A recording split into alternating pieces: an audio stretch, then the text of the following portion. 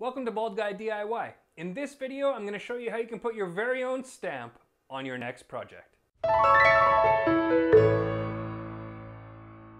For a while now, I've had a desire to personalize the projects I make with my own stamp to, you know, put my logo on or any other saying that I might like to put on just as something to personalize it a little bit more.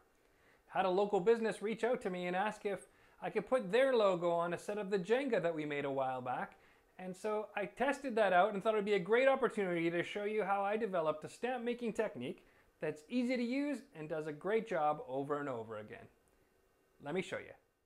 I used Tinkercad.com to model the template for the stamp and I uploaded an SVG version of the logo which made it very simple then to use the pull and drag tools to size it properly and you know to decide where I wanted it to be. I used the logo as a hole instead of a solid shape and then grouped it with a solid rectangle in order to give me a stamp template. Now I used a 5mm total thickness of the template and a 3mm hole because I found that 3mm of height was about perfect for using the stamp itself. And I sent it over to my 3D printer and printed off stamp mold so that we could use it.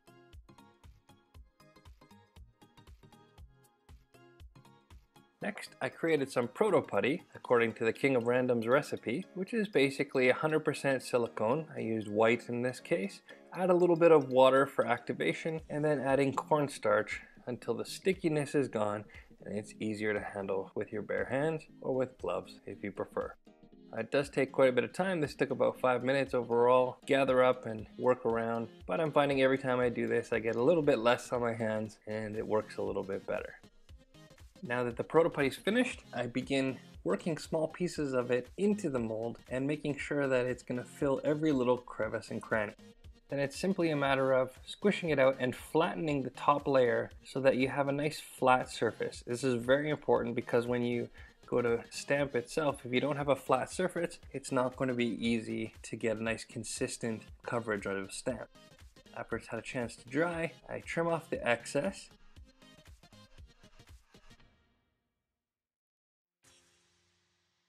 and now demold the stamp surface. Convenient thing about making it this way is that the template itself acts as a great backing and so I'm going to use some CA glue and connect it to the stamp. Now you can see it's in the right exact orientation that you need so it's easy to tell where the design is going.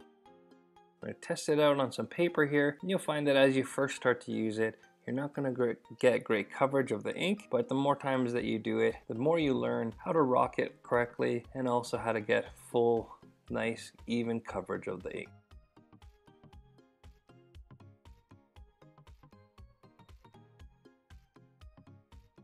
On my third time through, you can see I finally got all the letters to come across nice and clear.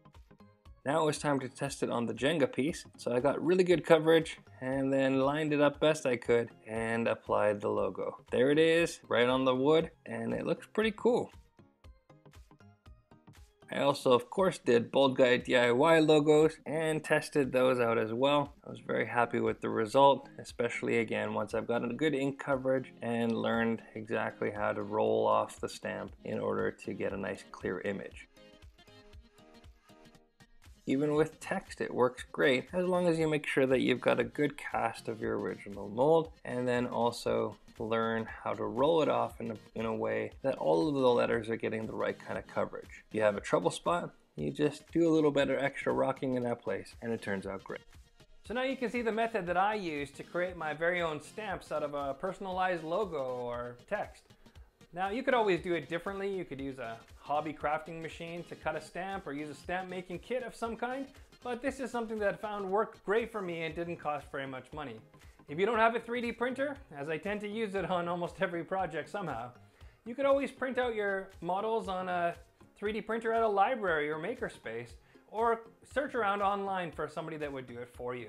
Remember, we keep putting out a new video every Saturday morning, so please check back to see more content coming your way. If you like the videos we're making, please consider subscribing.